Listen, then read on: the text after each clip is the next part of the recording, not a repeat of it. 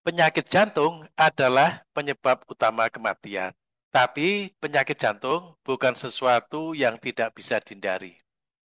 Meskipun Anda tidak dapat mengubah beberapa faktor risiko seperti riwayat keluarga, jenis kelamin, atau usia, ada banyak cara untuk mengurangi risiko penyakit jantung.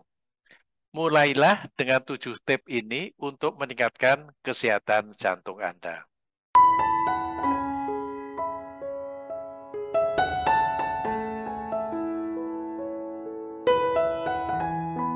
Satu, jangan merokok atau menggunakan tembakau. Salah satu hal terbaik yang dapat Anda lakukan untuk jantung Anda adalah berhenti merokok atau menggunakan tembakau tanpa asap. Bahkan jika Anda bukan perokok, pastikan untuk menghindari asap rokok. Bahan kimia dalam tembakau dapat merusak jantung dan pembuluh darah. Asap rokok mengurangi oksigen dalam darah yang meningkatkan tekanan darah dan detak jantung karena jantung harus bekerja lebih keras untuk memasok oksigen yang cukup ke tubuh dan otak. Ada kabar baiknya. Risiko penyakit jantung mulai turun hanya sehari setelah berhenti dari mengisap rokok. Setelah satu tahun tanpa rokok, risiko penyakit jantung turun menjadi sekitar setengah dari perokok tidak peduli berapa lama atau seberapa banyak Anda merokok, Anda akan mulai menuai hasilnya segera setelah Anda berhenti. Dua, gerak badan. Usahakan untuk setidaknya 30 hingga 60 menit olahraga setiap hari. Aktivitas fisik yang teratur setiap hari dapat menurunkan risiko penyakit jantung. Aktivitas fisik membantu mengontrol berat badan Anda.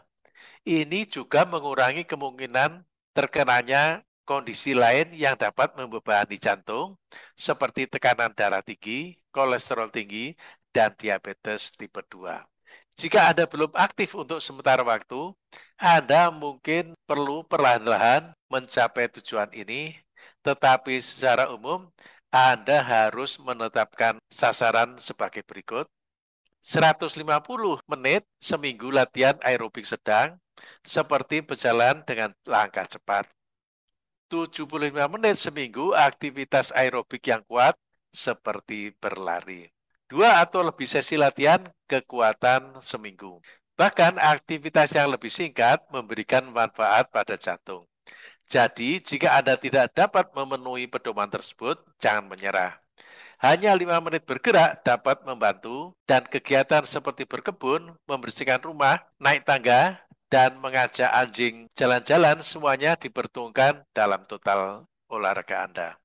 Anda tidak harus berolahraga berat untuk mendapatkan manfaat, tetapi Anda dapat melihat manfaat yang lebih besar dengan meningkatkan intensitas, durasi atau lama dari olahraga, dan frekuensi latihan Anda. Tiga, makan makanan yang menyehatkan jantung. Pola makan yang sehat dapat membantu melindungi jantung serta mengurangi risiko diabetes tipe 2. Rencana makan yang sehat untuk jantung meliputi sayuran dan buah-buahan, kacang polong atau kacang lainnya, daging dan ikan tanpa lemak, minuman susu rendah lemak atau bebas lemak, biji-bijian utuh, lemak sehat seperti minyak zaitun. Batasi asupan berikut ini.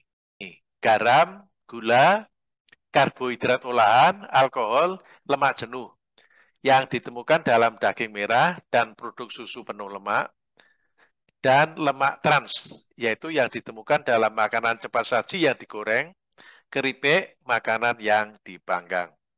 Empat, pertahankan berat badan yang sehat.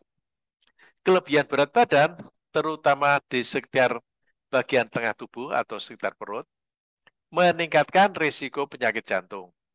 Kelebihan berat badan dapat menyebabkan kondisi yang meningkatkan kemungkinan terkena penyakit jantung, termasuk tekanan darah tinggi, kolesterol tinggi, dan diabetes tipe 2.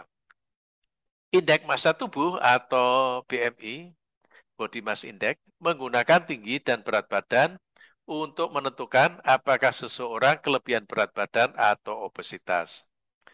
BMI 25 atau lebih tinggi dianggap kelebihan berat badan dan umumnya dikaitkan dengan kolesterol tinggi, tekanan darah tinggi, dan peningkatan risiko penyakit jantung dan stroke. Lingkar pinggang juga bisa menjadi alat yang berguna untuk mengukur seberapa banyak lemak perut yang Anda miliki. Risiko penyakit jantung lebih tinggi jika ukuran pinggang lebih besar dari 40 inci atau 101,6 cm untuk pria 35 inci atau 88,9 cm untuk wanita. Bahkan, penurunan berat badan yang kecil pun bisa bermanfaat. Mengurangi berat badan hanya 3% sampai 5% dapat membantu menurunkan lemak tertentu dalam darah, yaitu gliserida, menurunkan gula darah atau glukose, dan mengurangi risiko diabetes tipe 2 kehilangan lebih banyak lagi membantu menurunkan tekanan darah dan kadar kolesterol darah. 5. Dapatkan kualitas tidur yang baik. Orang yang kurang tidur memiliki risiko lebih tinggi mengalami obesitas, tekanan darah tinggi, serangan jantung, diabetes, dan depresi. Kebanyakan orang dewasa membutuhkan setidaknya 7 jam tidur setiap malam.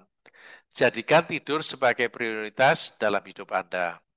Tetapkan jadwal tidur dan patuhi itu dengan pergi tidur dan bangun pada waktu yang sama setiap hari.